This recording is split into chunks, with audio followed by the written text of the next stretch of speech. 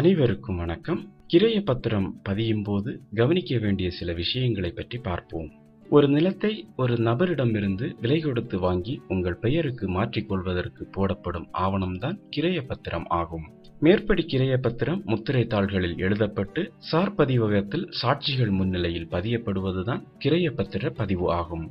எழுதி கொடுப்பவரின் பெயரும் இன்சியலும் அவரின் அடையாள அட்டை பட்டா மின்னிணைப்பு முன்பத்திரம் மற்றும் இதர ஆவணங்களில் உள்ளது போலவே பத்திரத்தில் எழுதப்பட்டுள்ளதா என பார்க்க வேண்டும்.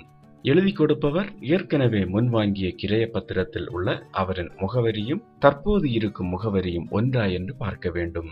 இரண்டும் வேறு வேறு முகவரி என்றால் இரண்டு முகவரியும் இப்போது எழுதுகிற கிரைய பத்திரத்தில் காட்ட வேண்டும். கிரயம் எழுதி வாங்குபவரும் தன்னுடைய பெயர் இன்சியல் முகவரி ஆகியவை அடையாள அட்டையுடன் பொருந்தும்படி பிழையில்லாமல் இருக்கிறதா என்று பார்க்க வேண்டும்.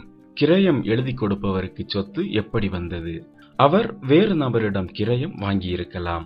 அவருடைய பெற்றோர்கள் மற்றும் குடும்பத்தாரிடம் இருந்து செட்டில்மெண்ட் பாக பிரிவினை விடுதலை பத்திரம் மூலம் அடைந்திருக்கலாம். உயில் தானம் மூலம் கிடைத்திருக்கலாம். பொது ஏலம் நீதிமன்ற தீர்வுகள் மூலம் கிடைத்திருக்கலாம். பூர்வீகமாக பட்டாப்படி பாத்தியப்பட்டு வந்திருக்கலாம். அதனை கிரயம் எழுதி கொடுப்பவர் தெளிவாக ஆவண எண் விவரத்துடன் மேற்படி சொத்து எனக்கு கிடைத்தது என்று சொல்லியிருக்க வேண்டும். கிரயம் எழுதி கொடுப்பவருக்கு யார் மூலம் சொத்து வந்தது என எழுதுவது மட்டுமில்லாமல் அவருக்கு முன் கிரயம் பெற்றவருக்கு யார் மூலம் சொத்து வந்தது என்று நதி மூலம் ரிஷி மூலம் பார்த்து அனைத்து லிங்க் டாக்குமெண்டையும் வரலாறாக தற்போதைய கிரய பத்திரத்தில் எழுதுவது மிக சிறப்பானதாகும். கிரயம் நிச்சயித்த உண்மை தொகை எழுத வாய்ப்பிருந்தால் தெளிவாக எழுதுங்கள். அல்லது வழிகாட்டி மதிப்பு தொகை எழுதினாலும் எழுதுங்கள். எவ்வளவு பணம் அக்ரிமெண்ட் போடும்போது கொடுக்கப்பட்டது? எவ்வளவு பணம் காசோலையாக கொடுக்கப்பட்டது? எவ்வளவு பணம் வங்கி கணக்கில் கட்டப்பட்டது? எவ்வளவு பணம் ரொக்கமாக கொடுக்கப்படுகிறது என தெளிவாக குறிப்பிட வேண்டும். கிரயம் எழுதி கொடுப்பவர் எழுதி வாங்குபவருக்கு கீழ்கண்ட உறுதிமொழிகளை கட்டாயம் கொடுத்திருக்க வேண்டும். அவை தானம் அடமானம் முன்கிரயம் முன் அக்ரிமெண்ட் உயில் செட்டில்மெண்ட் கோர்ட் அல்லது கொலாட்ரல் செக்யூரிட்டி ரெவென்யூ அட்டாச்மெண்ட் வாரிசு பின்தொடர்ச்சி மைனர் வியாஜ்யங்கள் பதிவு பெறாத பத்திரங்கள் மூலம் எழுதும் பாத்திய கோரல்கள் சொத்து ஜப்தி சொத்து ஜாமீன் பைசலுக்காக சர்க்கார் கடன்கள் வங்கி கடன்கள் தனியார் கடன்கள் சொத்து சம்பந்தமான வாரிசு உரிமை சிவில் கிரிமினல் வழக்குகள் சர்க்கார் நில ஆர்ஜிதம் நிலக்கட்டுப்பாடு அரசு நில எடுப்பு முன்மொழிவு நோட்டீஸ் நில உச்சவரம்பு கட்டுப்பாடு பத்திரப்பதிவு சட்டம் நாற்பத்தி ஏழு ஏ சட்டத்தின் கீழ் சொத்து இல்லை இதில் செல்லாத பிற வில்லங்கங்கள் இல்லை போன்ற உறுதிமொழிகளை வில்லங்கம் இல்லை என்று கண்டிப்பாக உறுதியளித்து இருக்க வேண்டும். சர்க்கார் வரி வகைகள் முழுவதும் கட்டியாயிற்று.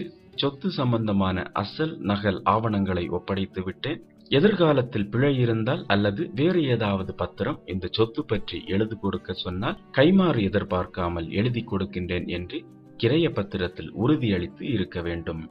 சொத்து விவரத்தில் மிக தெளிவாக மாவட்டம் வட்டம் கிராமம் புலையன் உட்பட அனைத்தையும் தெளிவாக குறிப்பிட்டு இருக்க வேண்டும். தெருவோ கதவு எண்ணோ இருந்தால் நிச்சயம் குறிப்பிட்டிருக்க வேண்டும்.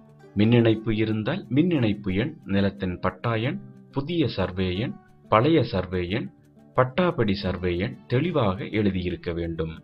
இடத்தின் அளவு நாட்டு வழக்கு முறையிலும் பிரிட்டிஷ் அளவு முறையிலும் மெட்ரிக் அளவு முறையிலும் தெளிவுடன் எழுதியிருக்க வேண்டும். மெட்ரிக் அளவு முறையில் எழுதியிருந்தால் பட்டா மாற்றத்திற்கு உதவியாக இருக்கும். கிரைய சொத்தை சுற்றி இருக்கும் நான்கு பக்கங்களில் இருக்கின்ற சொத்துக்களை சிறு அளவு பிழை இல்லாமல் அடையாளப்படுத்த வேண்டும். நான்கு பக்கங்களில் இருக்கின்ற நீள அகல அளவுகளை தெளிவுடன் குறிப்பிட்டிருக்க வேண்டும். பத்திரத்தின் எல்லா பக்கங்களிலும் எழுதி கொடுப்பவர் கையொப்பம் இட்டிருக்கிறார்களா என்று சோதனையிட வேண்டும். எழுதி கொடுப்பவர் தரப்பின் சாட்சிகள் பெயர் முகவரியுடன் கையொப்பம் இட்டிருக்கிறார்களா என்று சரிபார்க்க வேண்டும். தேவையான பட்டா வரைபடம் அடையாள அட்டை நகல்கள் பத்திரத்துடன் இணைக்கப்பட்டுள்ளதா? அதில் எழுதி கொடுப்பவர் கையொப்பம் இட்டிருக்கிறார்களா என்று பார்க்க வேண்டும். முத்திரை தாள்கள் சரியாக வாங்கியிருக்கிறோமா? பதிவு கட்டணம் டிடி சரியாக எடுத்துள்ளோமா? ஆவண எழுத்தர் அல்லது வக்கீல் ஆவணம் தயாரித்தவர் என்று கையொப்பம் இட்டிருக்கிறார்களா என்று சரிபார்க்க வேண்டும். மேலும் வீடியோக்களுக்கு சேனலை சப்ஸ்கிரைப் செய்யுங்கள்.